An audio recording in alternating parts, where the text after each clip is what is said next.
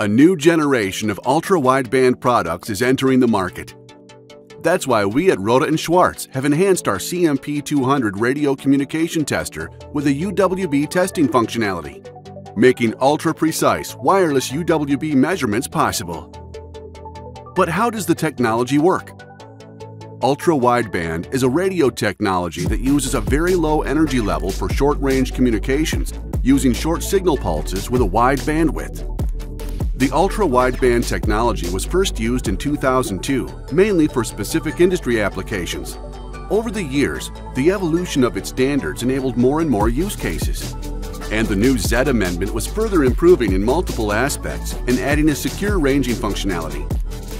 This allowed new use cases for smartphones, wearables, tags, car access, and more. Next to secure low-power communication, the key use case of the ultra-wideband technology is precise ranging. While Bluetooth LE ranging based on the received signal strength can provide, dependent on the radio conditions, a range precision of a few meters, UWB measures the real-time location with a variant of a few centimeters. The distance between two objects can be calculated based on the time of flight. It is the time the signal needs to pass from initiator to the responder. Here's how it's measured. You take the time a signal needs from device A to B and back. On the way back, device B sends information about its time of reply to device A, so it can calculate the time of flight. Accurate TOF estimation requires time measurement at the analog antenna. Therefore, it is necessary to know the time difference between the antenna and the digital time processing. Because this correction value can vary, it is necessary to calibrate and validate UWB devices. So we have to come up with a smart solution to accurately measure the TOF. By using a coupler as an extension to our CMP, we can exactly measure the time differences and compare with the expected TOF of the test setup. Now we can calculate the time difference and can tune the correction values of the device with a high precision. UWB measurements should ideally be done over the air, and Rohde & Schwarz is your one-stop partner for ultra-precise wireless testing. We provide the full test setup for all your measurement tasks.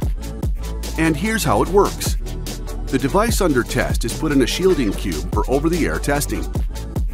Then a signal is generated by the generator within the CMP200. Through the coupler and a switch, the signal is passed to the antennas.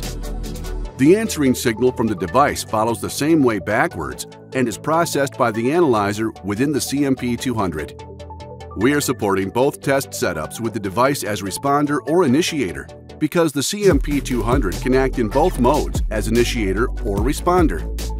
With our three antennas set up in the shielding cube, we can also measure the angle of arrival. The antenna in the middle is placed with a zero degree orientation to the device and helps calibrating and verifying the time of flight. In combination with the two antennas in minus and plus 45 degree to the device, we can send signals in three different angles. Due to the physical offset of the device's antennas, the device measures a phase offset, also called phase difference of arrival, and calculates the angle of arrival.